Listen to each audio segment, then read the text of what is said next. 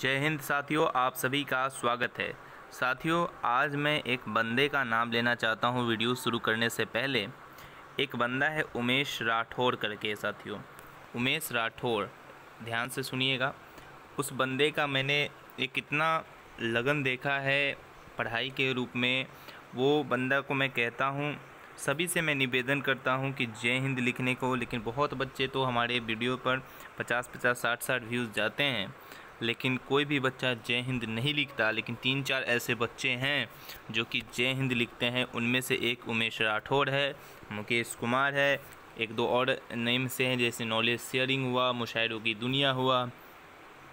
ऐसे Indian army एक है चैनल करके। तो ऐसे कुछ बच्चे हैं साथियों जो बहुत ही प्रिपरेशन में लगन है और उनको लगता है, मुझे अंदर से एक आवाज़ लगती है कि हाँ उनका ही सिलेक्शन इसलिए होगा क्योंकि उनके अंदर देशभक्ति साथियों, पढ़ाई तो हर कभी ना कभी हो जाएगा, लेकिन एक देशभक्ति साथियों, मैं बहुत कम बच्चे में देख पाता हूँ।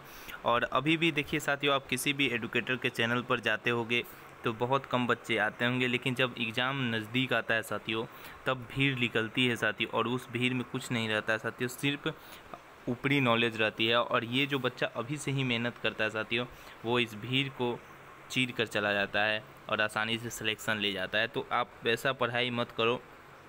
लास्ट वाला तो कोई फ़ायदा है नहीं। लेकिन मैं उमेश राठौर को बहुत तहे दिल से शुक्रिया करता हूँ कि वो हमारे चैनल पर हैं।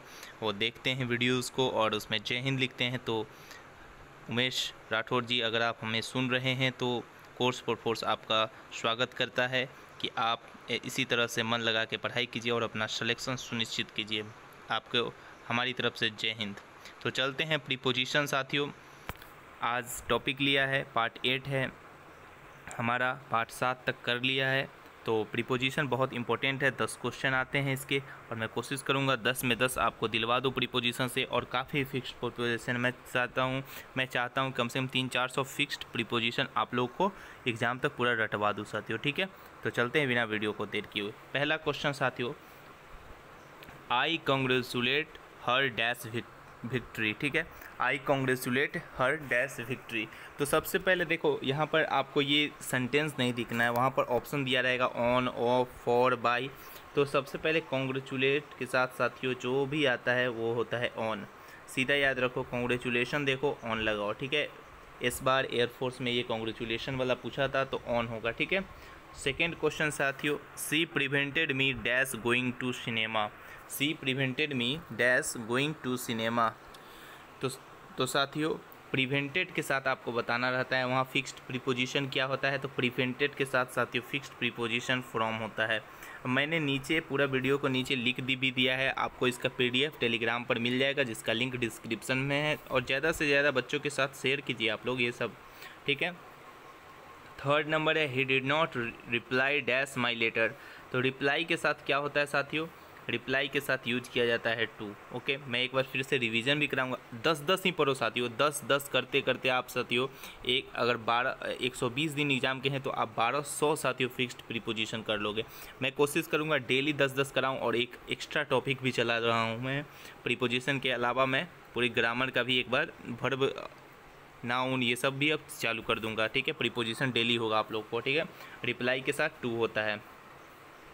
फोर्थ नंबर है he was not satisfied dash my answer satisfied के साथ साथियों, जो यूज़ होता है, उसका नाम होता है विथ सेटिस्फाइड विथ ठीक है?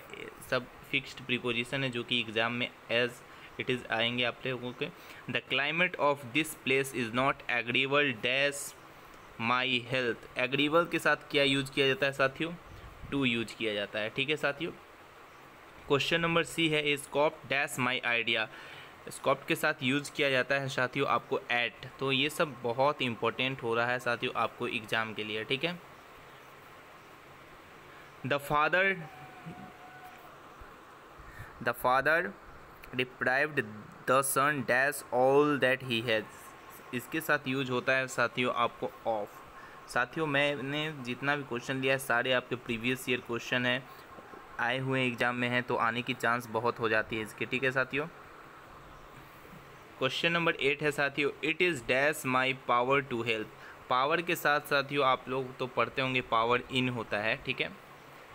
Gandhi ji dedicated his life dash the service of nation dedicated के साथ साथियों टू का यूज़ किया जाता है और एडिक्टेड के साथ भी साथियों टू का यूज़ किया जाता है, ठीक है? Addicted dedicated to he is good at dash English but weak dash Hindi good at साथियों. स्किल की बात होगी तो good at English, but weak in, weak के साथ हमेशा इनका यूज़ किया जाता है, ठीक है?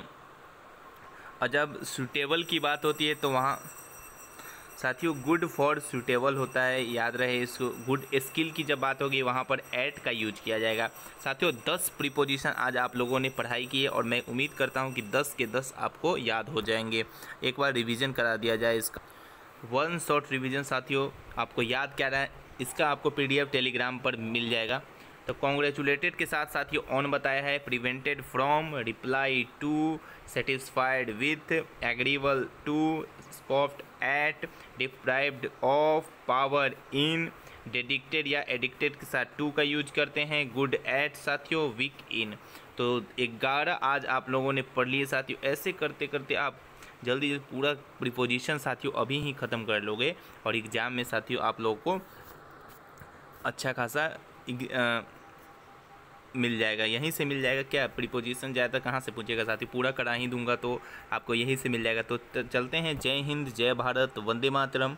और आज भी एक मैथ्स का वीडियो आएगा और आज मैक्सिमम एंड मिनिमम पूरा ख़त्म कर देंगे हम लोग, ताकि आपको जहाँ से भी क्वेश्चन आए मैक्सिमम मिनिमम से एक क्वेश्चन आता है, वो आप बना लो, ठीक है?